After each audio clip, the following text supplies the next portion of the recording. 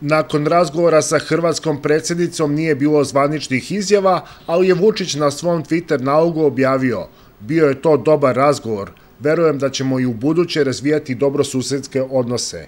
Grabar Kitarović je uoči dolaska u Mostar rekla da treba smiriti i spustiti tenzije, jer budućnost jugoistočne Evrope mora biti budućnost mira i blagostanja za sve.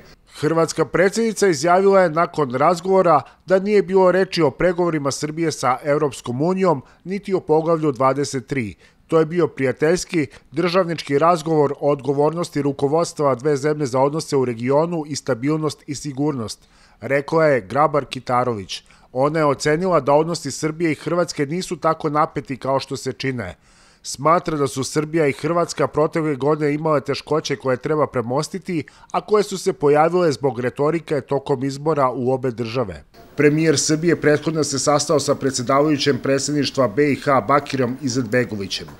Njih dvojica su svoje razgovore okarakterisali kao dobre, iskrene i teške i pozvali na rešavanje svih problema u miru. Ono što je zaključak, rekao bih, obojice, a Bakir može i da me demantuje, to je da u narednom periodu intenzifikujemo i naše kontakte, intenzifikujemo i naše razgovore, naš dijalog, jer smatramo da su srpsko-bošnjački odnosi kičma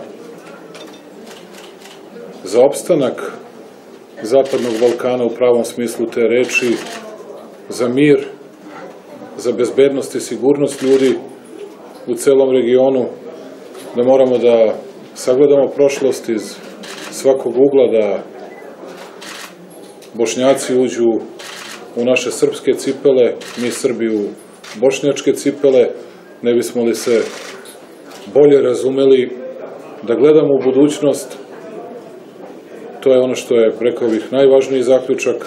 Tokom razgovora Vučića sa srpskim članom predsedništva BiH Mladenom Ivanićem, sagovornici su se složili da probleme treba rešavati, a ne gurati po tepih, kao i da je krajnje vreme da se spuste tenzije između Sarajeva i Beograda. Srbi i Hrvati treba da rade na uređenju svojih odnosa na dobrobit budućih generacija. Zaključak je sastanka srpskog premijera sa hrvatskim članom predsedništva BiH Draganom Čovićem. Na svečanom otvaranju 19. Međunarodnog sajma privrede Mostar 2016. srpski premijer je pozvao na uklanjanje nepotrebnih prepreka među državama u regionu.